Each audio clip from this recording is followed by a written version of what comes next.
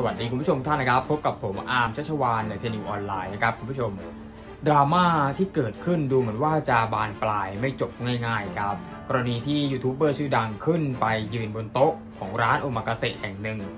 และมีการไลฟ์สดชี้แจงดุเดือดนะครับยืนยันว่าวันนั้นไม่ได้มีแค่ตนเองคือคุณแจ็คแปปโฮเนี่ยบอกไม่ได้มีแค่เขาที่ขึ้นไปยืน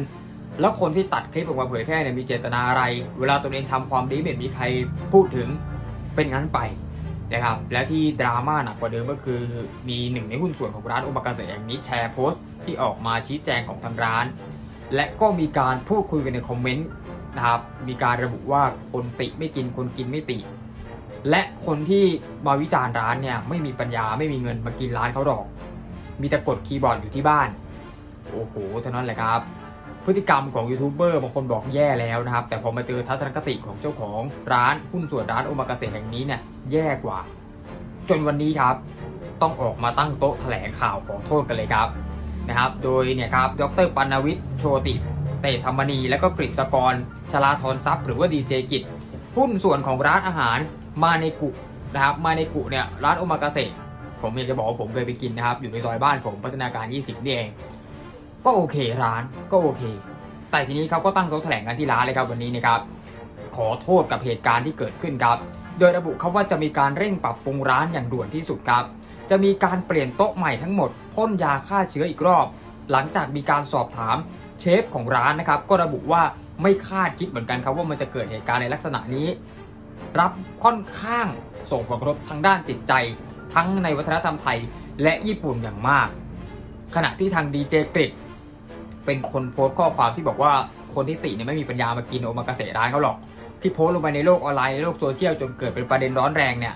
ก็ยกมือไหว้ขอโทษแหละครับ ระบุว่าขอโทษสำหรับถ้อยคำที่ไม่เหมาะสม ตนเองเนี่ยโพสต์โต้ตอบกับรุ่นพี่ใน Facebook ไม่คิดว่าจะมีคนเนี่ยแคปไปลงโซเชียลร้อมกับน้อมรับผิดที่ใช้ถ้อยคำไม่เหมาะสม ยืนยันว่าไม่ได้ตั้งใจจะดูถูกเหยียดหยามลูกค้า และจะไม่ให้เกิดเหตุการณ์แบบนี้ขึ้นอีก เขายังบอกนะครับว่าเขาอบรมพนักงานเขาดีเจกินเนี่ยบอกพนักงานเขาทุกคนว่าเขาเนี่ยไม่ได้จ่ายเงินให้กับพนักงาน คนจ่ายเงินเนี่ยคือลูกค้า ถ้าไม่มีเขาเราอยู่ไม่ได้ ผมปลูกฝังเสมอ ผมไม่เคยมีในหัวเลยว่าจะดูถูกลูกค้า เรื่องการดูถูกคนผมไม่เคยทำและไม่คิดว่าจะทำสิ่งใดที่ผิดพลาด ผมกราบขอโทษ เราไปฟังเสียงการแถลงข่าวขอโทษของผู้บริหารของร้านโอมากาเสะครับสำหรับถ้อยคำของผมที่ไม่เหมาะสมนะครับ อาจจะเป็นด้วยอารมณ์หลาย ๆ อย่างที่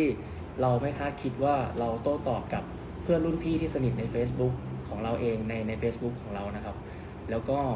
ใช้ถ้อยคำที่ไม่เหมาะสมกับสถานการณ์ที่เกิดขึ้นจริงในตอนนี้ ซึ่งผมก็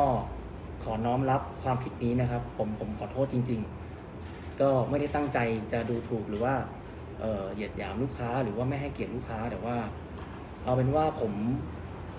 จะไม่ให้เกิดเหตุการณ์แบบนี้ขึ้นอีก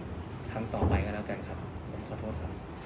มันก็มีดราม่าอีกอะค่ะว่ามีผู้หญิงคนหนึ่งได้เขียนว่าเป็นแฟนเก่าของคุณกิตอะค่ะครับ อ่าบอกว่าได้ให้เงินคุณกิตไปสองล้านสี่แล้วก็ยังไม่ได้คืนสองปีแล้วอะค่ะครับก็คือเรื่องนี้มันเกิดขึ้นมาในระยะหนึ่งแล้วครับ คือตอนที่เราคบกันเนี่ย ก็เราได้ดำเนินธุรกิจร่วมกันนะครับ ใน part ของธุรกิจผมเนี่ยเขาก็เข้ามา support ใน part ของธุรกิจเขาที่อยู่ภาคใต้เนี่ย ผมก็เป็นคนเข้าไป support เช่นสร้างร้านให้ร้านสุกี้นะครับติดแอร์อย่างดี ร้านซูชิร้านคาเฟ่ที่มีสระว่ายน้ำอันนั้นเป็นเงินส่วนตัวของผม ก็ไม่ขอพูดว่ามันเท่าไหร่ก็แล้วกัน เอาเป็นว่าตอนนี้ต่างฝ่ายต่างมีหนี้ซึ่งกันและกัน ผมขออนุญาตเเก็บไว้ให้ผมกับเขาไปนี่นะครับ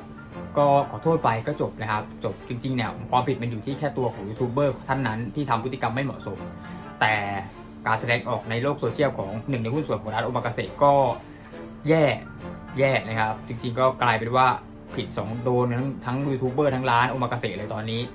ขอโทษไปก็จบนะครับ เพราะว่าคุณทำร้านอาหารนะครับ ลูกค้าต้องไปกินก็ต้องง้อเขาอะนะครับ เพราะว่ามันจะขายดีไม่ดียังไงคุณก็ต้องทำให้ลูกค้ากิน ไม่ได้ทำกินกันเองนะครับข่าวไอทีนิวครับ คุณจะไม่พลาดทุกกระแสร้อนของสังคมครับ